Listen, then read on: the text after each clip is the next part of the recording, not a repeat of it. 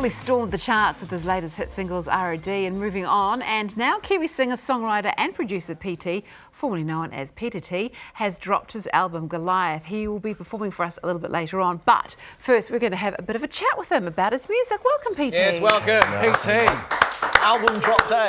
Yeah. yeah. You guys are old buddies, aren't you? Yeah, From yeah. Back in the day Known when each other you, for ages. You yeah. were in a boy band on the edge. That's how it went, isn't it? Yeah, it was about 2006, yeah. wasn't it? It was that in-between period from when, you know, Backstreet Boys to One Direction. There was the period where people hated boy bands for yeah. a while. And the Edge, you know, they put it together just to be a bit of a joke, and we went number one. Yeah, that was amazing. hey, oh, you wow. guys are all really talented, and it's been so nice watching you over the years blossom and just have this fantastic career, and end up shooting amazing videos like that one we just saw. Yeah. Where was that? Because I think I recognised that. Was that Vanuatu? Vanuatu, yeah. Nice. It was shot in Vanuatu. So, production team and video team, they had um, friends and family who own a, a, a wonderful resort in Vanuatu, and they wanted to shoot there and I was too busy with shows, so I couldn't go. So that's why you don't see me in the video. Oh, ripped off. But they were, you know, they were adamant they needed to shoot it in Vanuatu, so yeah, they and, went. And, fair call to them, I would say that they were right.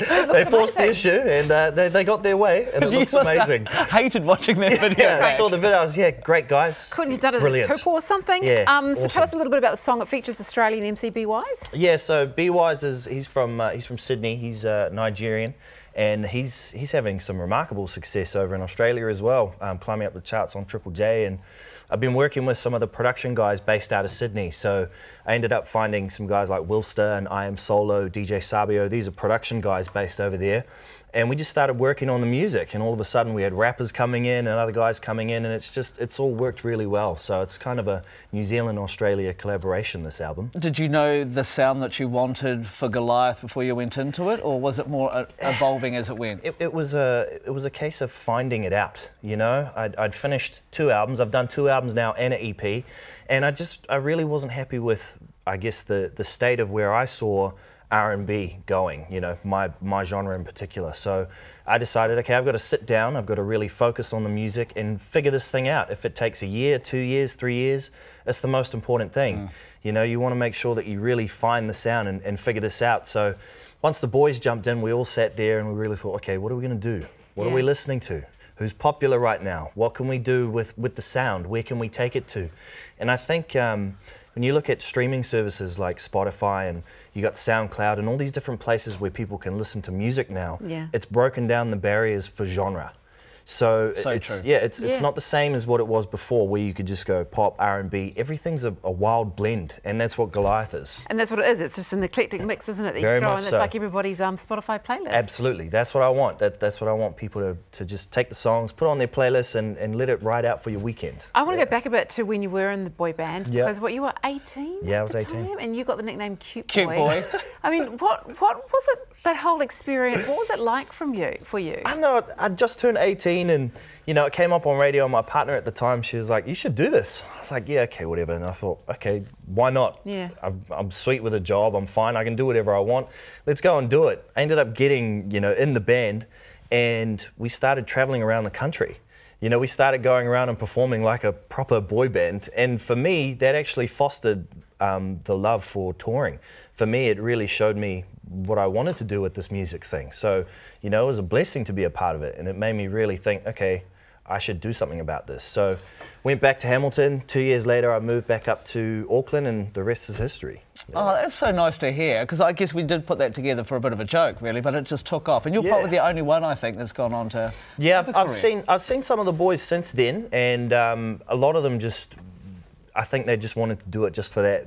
A bit know, of fun? Moment- Exactly. moment Just, of just- fame, yeah, you know. just for a bit of bit of hoorah, and then that was it. But I've seen them since then, and, and same thing. They've all been, you know, super supportive of, of my stuff, you know, of my That's career. very cool. So you take that, um, you know, that experience, your love of music, and you know, not only can you sing, but you're a producer as well. How do you think that has helped you become the artist that you are today?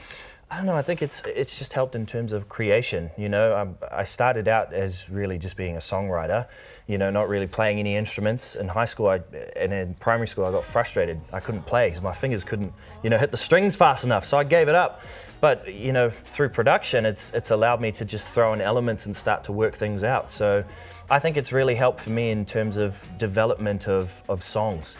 And it's changed the, again, with the genre blends coming out for streaming right now, it's allowed me to change the way I piece together songs. It's Nice. not the it's not the full three minute thirty format anymore. It's two minutes. Could Yeah. be seven minutes The long. radio play song, there it is, like it used to be. Yeah. And what about your name change too? Because you were known as Peter T, Yeah. and now you're PT.